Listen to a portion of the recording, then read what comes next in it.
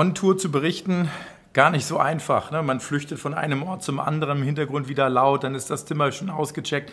Aber ich versuche das Beste draus zu machen und möchte trotzdem einen kurzen Blick auf die Märkte werfen. Der Nasdaq äh, ist jetzt offiziell technisch in einem neuen Bullenmarkt mit dem Nasdaq 100 seit Dezember 20 Prozent auf der Gewinnerseite und hier vor allen Dingen die großen Tech-Werte, die den Markt weiter nach oben führen. Das sehen wir letztendlich gesehen auch an diesem Donnerstag. Der S&P 500, der sehr stark beeinflusst wird, vor allen Dingen durch Apple und Microsoft und die großen Tech-Werte, ist auch im Aufwind, hat jetzt die Marke von 4000 wieder hinter sich gelassen gelassen. Übrigens das 13. Mal seit 2022, dass diese Marke nach oben durchbrochen wird. JP Morgan hatte sich bereits zum Wochenauftakt äh, geäußert und glaubt, dass wir kurzfristig eine Fortsetzung der Erholung sehen werden. Die Messlatte für die Berichtssaison hängt niedrig und das Wirtschaftswachstum gewinnt weiter an Dynamik. Wir sehen das übrigens auch bei den Arbeitsmarktdaten. Die Erstanträge auf Arbeitslosenhilfe lagen ja so ziemlich im Rahmen der Erwartung, sind aber noch sehr niedrig mit 198 95.000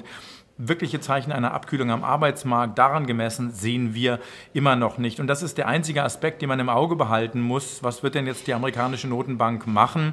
Keine Zeichen einer wirklichen Wirtschaftsabkühlung. Das Bruttoinlandsprodukt im ersten Quartal dürfte bei einer Jahresrate von Pi mal Daumen zweieinhalb Prozent liegen. Das ist viel. Das ist vor allen Dingen auch noch äh, im Vergleich zum vorhergehenden Quartal keine wirklich merkliche Abkühlung. Ja, die amerikanische Notenbank wartet hier vor allen Dingen auf die Inflationsdaten. Wir kriegen am Freitag äh, den sogenannten PCE-Inflationsindikator, allerdings für den Februar.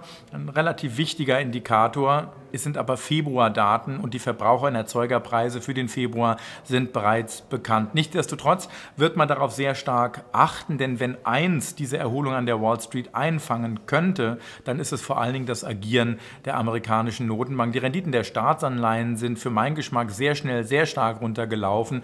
Hier ist eher ein bisschen Druck nach oben kurzfristig äh, angesagt äh, und äh, gerade in Anbetracht der stärkeren Wirtschaftsdaten. So, äh, JP Morgan äußert sich sich erneut an diesem Donnerstag und sagt, dass diese Erholung, die wir jetzt sehen, tatsächlich äh, ganz gute Chancen hat, weiterzulaufen. Auch deshalb, weil letztendlich die Positionierung vieler Asset Manager zu defensiv ist. Viele sind nicht mit dabei bei dieser Erholung. Das heißt, der Druck steigt in die, dem Markt Stück weit ein bisschen auch hinterher zu rennen, die äh, Gewichtung ein bisschen auszuweiten und auch die Stimmung bei Investoren ist insgesamt noch ziemlich verhangen. Das gekoppelt zusammen mit der Berichtssaison könnte also den Markt noch ein bisschen höher treiben. Ne? Nur zur Erinnerung, Jeffrey Gundlach von Double Line der Bondkönig sozusagen meint 4300, 4400. Das ist die Marke, bei der man dann letztendlich gesehen in Starke hinein verkaufen sollte. So, ganz kurz ein Blick auf einige Einzelwerte, weil ich heute zwischen Tür und Angel bin. Kein so langer Bericht. Fangen wir mal an mit Intel. Da gab es jetzt den Analystentag. Wenn man sich das so durchliest, das Feedback der Analysten äh, da muss ich sagen, okay, es waren wenigstens keine negativen Nachrichten und Grundtenor ist, dass äh, die äh, CPU Roadmap, äh, die Pläne dort, äh, den Zeitplan einhalten, vielleicht sogar ein bisschen früher quasi in der Timeline liegen, als man geplant hatte. Aber ein wirklicher Knaller war die Analystenkonferenz nicht. Raymond James hebt das Kursziel nicht destotrotz auf 35 Dollar an. Der gesamte Halbleiterbereich hat gestern von Micron Technology profitiert, das letzte Quartal und das jetzt laufende Quartal waren enttäuschend, aber die Basis für eine Erholung im zweiten Halbjahr. Das ist zumindest der Tenor der Analysten. Heute Morgen haben wir Wells Fargo, die sich zu AMD äußern, das Kursziel auf 120 Dollar anheben und auch betonen, dass äh, kurzfristig gesehen das Nachfrageumfeld ziemlich choppy, sehr uneinheitlich sein dürfte äh, auch etwas schwieriger sein dürfte. Aber wenn man ein bisschen weiter ins Jahr blickt, hat man die Erwartungen angehoben. Meta Platforms kriegt äh, von der Credit Suisse und von Evercore ISI Empfehlungen. Äh, beide empfehlen die Aktie zum Kauf. Die Credit Suisse sieht die Aktie bei 251 Dollar und äh, wir haben Evercore ISI äh, die betonen, dass äh, das Umsatzpotenzial im Bereich der Monetarisierung Messaging sehr groß sei. Die Credit Suisse betont, dass die Entlassungen, die man gemeldet hat, im Prinzip jetzt im Aktienkurs mit eingepreist sind. Aber was jetzt entscheidend sein wird, ist, wie kann letztendlich gesehen Meta wieder mehr Wachstum auf der Umsatzseite generieren. Das wird jetzt also hiermit entscheidend sein. So, Intel, AMD, Meta haben wir damit. Wir haben die Aktien von Netflix, die auch von Wells Fargo empfohlen werden.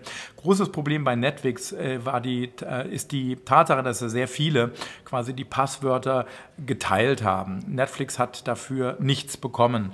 Das heißt, die Bemühungen, das zu beenden oder zumindest zu limitieren, paid Sharing, bezahltes Sharing also, das trägt erste Früchte, sagt Wells Fargo. Und hier glaubt man, dass die Aktie deutlich äh, Potenzial nach oben hat. So ganz kurz im Schnelldurchlauf. Ford wird empfohlen von Morgan Stanley, Übergewichten.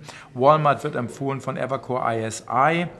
Lululemon bei Barclays. Hier steigen die Kursziele nach gestern guten Quartalszahlen auf 413 Dollar. Vor allem das abgelaufene Quartal war sehr beeindruckend fest. RH oder Restoration Hardware, wie man bei uns sagt in den USA, Möbel, schwieriges Umfeld mit dem Housing Market. Das sieht man auch an den Zahlen. Das Ergebnis lag unter den Erwartungen, der Umsatz auch. Die Aussichten werden gesenkt und die Aktie steht unter Abgabedruck. Die Kursziele an der Wall Street sinken ja auf breiter Front. Das Kursziel bei Wetbush wird auf 235 Dollar äh, reduziert. So, Philip Morris steht bei JP Morgan auf den Empfehlungslisten heute Morgen. Übergewicht mit Kursziel 116 Dollar. So, damit mache ich mal Schluss. Und wie gesagt, sorry, dass das heute ein bisschen Tür, zwischen Tür und Angel ist. An diesem Freitag wird es keinen Bericht von mir geben. Am Montag bin ich dann endlich wieder in New York und da fängt dann die Berichterstattung wieder ganz normal an. Also einen guten Handelstag, ein gutes Wochenende. Wir sehen uns am Montag. Bis dann und ciao.